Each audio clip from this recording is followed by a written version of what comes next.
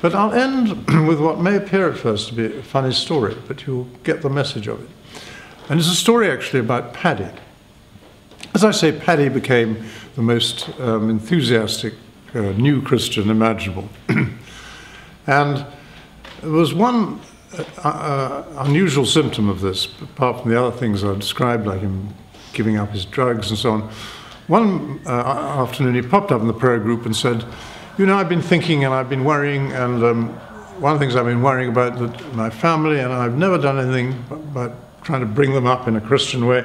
How could I? I wasn't a Christian myself. But um, my wife, I'm now reconciled with, um, she gave me the great news that she's pregnant. And um, this, sort of, since I came into jail just uh, four or five months ago, this has all happened, and I'm so excited. And my uh, new baby is going to be born in a few weeks' time. And I've already been to the chaplain to ask whether uh, he will baptize her in the, uh, in the chapel. Um, uh, think chaplain was a bit surprised to be asked to baptize a baby who hadn't been born yet, but anyway, um, and by this time we were, we were all in an open prison, things were a bit easier. So, lo and behold, after some discussion, we were able to have the baptism service of. Uh, uh, uh, he was a Catholic, so it was done according to the Catholic traditions, but um, of Paddy's newborn daughter in the prison chapel. And I remember that um, uh, baptism service for as long as I live for a variety of reasons, some of them humorous, some of them emotional, some of them deeply spiritual. Get the humorous ones out of the way first. Uh, Paddy, who had not totally lost his cunning, even though he'd become a um, good Christian, uh, managed to get delivered to the prison uh, a box containing, I think, 12 bottles of liquid. Uh, uh, uh, and of course, they were not immediately allowed in. Um, but Paddy said um, they were uh, for the baby's refreshment during the. And there was a rather decrepit old uh, prison officer um, who wearily said, It's an awful lot of bottles for a baby's christening. What do you do? You know, uh, baptizing. Uh, and Paddy quickly said, Sir, sir, she's a very thirsty baby. Sir, very uh, I think of those 12 bottles, at least sort of three of them contained neat vodka, so an absolutely fantastic party was had. That's another story. The other humorous thing about the uh, baptism service was the baby's dress. Um, as soon as I saw this baby in her dress, I said, This is a christening dress worthy of a princess. Yards and yards of expensive flowing white silk, um, wonderful sort of designs and bows and ruffles all over. It could have been made by Dior or Balenciaga or Stella McCartney. It was absolutely magnificent. and um, uh, and then, as I looked a little more closely, I suddenly realized that actually this was not a baby's christening dress. It was an adult lady's bridal gown. And if I'd had to guess which particular lorry it had fallen off the back of, I would have guessed quite quickly that it had fallen off the back of a lorry on the way to the outsize woman shop. Uh, because uh, it was a ginormous, uh, uh, I mean, you know, made for a double bride, or made, made for a Wagnerian soprano or something. and as soon as this tiny little baby was lowered into this vast uh, ginormous lady's bridal gown. She looked like a tiny little boat being launched into huge, billowing white waves.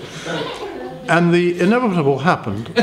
The boat capsized. Uh, not once, but several times. And as the good Catholic priest got going on the baptism service, suddenly the baby slid off into the right hand side and completely vanished from sight. And uh, Paddy's new best friends, all of them member of the prayer group, rushed forward and in the nicest sort of rescued the baby, pulled her out, uh, uh, saying things like, God bless you, my darling, gave her a kiss. Uh, and there she was, bang in the center of the uh, bridal gown, and then whoops, she shot him down. And the whole process started over again. Before we knew what we were, we had a real audience participation service. People coming, going, pulling the baby up, and uh, centering her down. And um, anyway, as I watched this, at first, like some of you, I was sort of superficially amused. Um, and then I next thing I started to do was to feel terribly sorry for the baby who was having a rough time. Whoops, she was on the left hand sleeve and being pulled out. And, um, and I felt very protective towards this tiny little baby. For a rather special reason, Paddy had done me the great honour of uh, asking me to be uh, a godfather of the Christian variety um, to, this, uh, uh, to this small baby. So I, I felt honoured by that, but, and I really felt sort of very protective toward this poor little baby. But so did everyone else in the chapel. Um, I've never been in a service which there was more love, more kindness, these guys sort of holding the little babies, pressing a tiny little hand, God bless them, it was going on like this.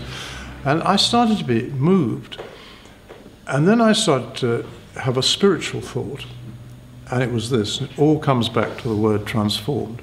I said, What is happening here? Uh, here we are, a whole lot of uh, criminals in a jail.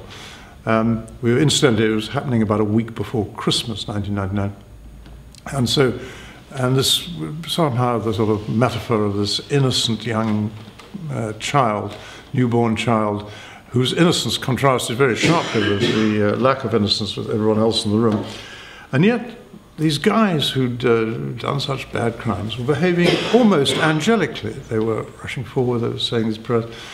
And I said to myself, why? You know, these fingers, these hands who today, you know, praying over the baby, touching her little hand, being so gentle, so soft. These were hands who a few months ago had uh, fingers on triggers, uh, outstretched hands and drug deals, fights, violence, and yet there they are behaving so softly, so gently, so prayerfully. Why? Because they have changed, because they have been transformed. Who has transformed them? The person who's been transforming people for 2,000 odd years, our Lord and Savior Jesus Christ, who was always transforming people. Mary Magdalene, the prostitute, um, Zacchaeus, the corrupt businessman, Saul of Tarsus, murderously stoning people one minute, Paul the great apostle the next. That is Jesus' um, power for us, that he transforms us, but we have to make the first move. And I'll end this uh, talk before I just say one last thing. It's my prayer. Whenever I look at an audience, I don't know who's in it, but I say, I just pray there's one person here tonight who will say to themselves what Paddy said to himself that day when we were having coffee. You know, I'd really like to try that path myself. If you were here, starting with the pastors, who would love to help you, I pray that there will be somebody who will want to try and get on that path themselves, because as I know, the path to transformation is the greatest and most blessed path that you can find in this life. God bless you all and thank you.